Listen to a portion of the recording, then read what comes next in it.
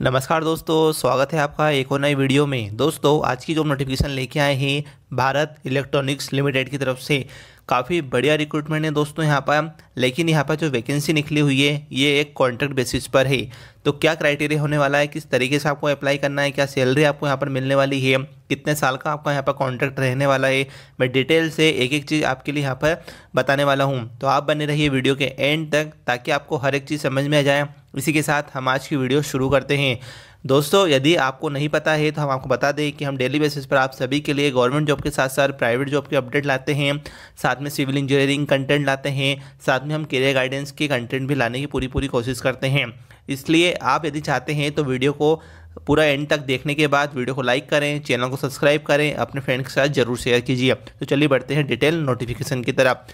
देखिए दोस्तों, सबसे पहले यदि हम बात करते हैं, यहाँ पर जो वैकेंसी निकली हुई है यहाँ पर वैकेंसी निकली हुई है प्रोजेक्ट इंजीनियर के लिए, जिसमें इलेक्ट्रिकल मैकेनिकल और सिविल वाले अप्लाई कर सकते हैं। तीनों के लिए नंबर ऑफ़ पोस्ट एक एक रखी गई है। ठीक है? अनरिजर्व कैटेगरी के लिए इसमें अप्लाई कर सकते हैं। ई डब्ल्यू एस कैंडिडेट इसमें अप्लाई कर सकते हैं। अट्ठाईस साल आपकी मैक्सिमम एज होना चाहिए। दो साल का एक्सपीरियंस होना चाहिए, चाहे आप इलेक्ट्रिकल से हैं मैकेनिकल से सिविल से हैं।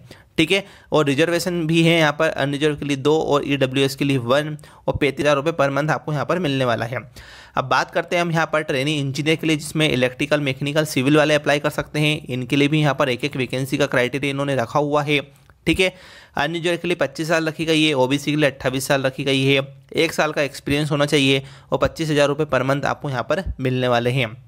ठीक है दोस्तों, अब क्वालिफिकेशन एजुकेशन की यदि हम बात करते हैं तो यहाँ पर इन्होंने क्लियरली लिखा हुआ है, यदि आपने कंप्लीट किया हुआ है बी बी टेक या बीएससी इंजीनियरिंग में किए चार साल के कोर्स के साथ in electrical engineering mechanical engineering और सिविल इंजीनियरिंग में तो आप इस पोस्ट के लिए अप्लाई कर सकते हैं।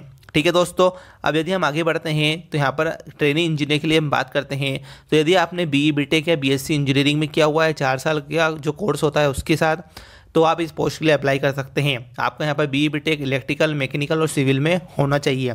ठीक है? तो इस तरह से होना चाहिए और यहाँ पर आपका फ़र्स्ट क्लास में आपका मार्क्स यहाँ पर होना चाहिए। ठीक है? अब यदि आपने पार्ट टाइम किया है तो आप इस पोस्ट के लिए अप्लाई नहीं कर सकते हैं।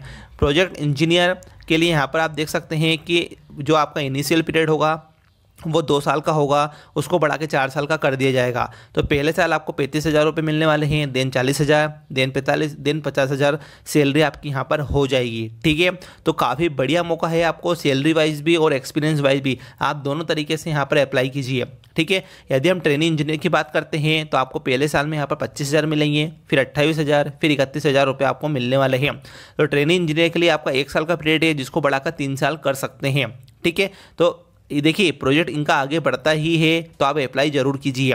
यदि पोस्ट क्वालिफिकेशन एक्सपीरियंस की यदि हम बात करते हैं, यदि आप प्रोजेक्ट इंजीनियर फ़र्स्ट के लिए अप्लाई करना चाहते हैं तो दो साल का मिनिमम एक्सपीरियंस होना चाहिए कंस्ट्रक्शन फ़ील्ड में, ठीक है? अब यदि बात करते हैं ट्रेनिंग इंजीनियरिंग के लिए तो यहाँ पर भी एक साल का एक्सपीरियंस होना चाहिए आपका, ठीक है? मतलब जो भी रिलेवेंट फ़ील्ड है, उसमें आपका एक्सपीरियंस यहाँ पर होना ही चाहिए, ठीक है? और यदि आपने कहीं से वन एक साल की अप्रेंटिसिप की हुई है तो वो एज ए एक्सपीरियंस यहाँ पर काउंट होने वाली है। तो ये काफ़ी बढ़िया मौका है आपके पास। लेकिन यदि आपके पास कोई अकेडमिक या टीचिंग का या रिसर्च वर्क का कोई एक्सपीरियंस है तो वो यहाँ पर अप्लाई आप नहीं कर सकते हैं। मतलब वो एक्सपीरियंस के तौर पर नहीं माना जाएगा। अब आगे बढ़ते हैं तो आप आप देख सकते हैं कि आपको कौन कौन सी रिस्पॉन्सिबिलिटी पर वर्क करना पड़ेगा कौन कौन सी चीज़ों को आपको ध्यान में रखना है तो ये आप नोटिफिकेशन को देख के पढ़ लीजिएगा। अब बात करते हैं किस तरीके से अप्लाई करना है तो अप्लाई करने के लिंक डिस्क्रिप्शन बॉक्स में अवेलेबल है, आप वहाँ से जाकर चेकआउट कर सकते हैं। एप्लीकेशन फ़ीस की बात करते हैं दोस्तों, यहाँ पर सबसे पहले प्रोजेक्ट इंजीनियर के लिए यहाँ पर पाँच सौ रखी गई है, ठीक है ना?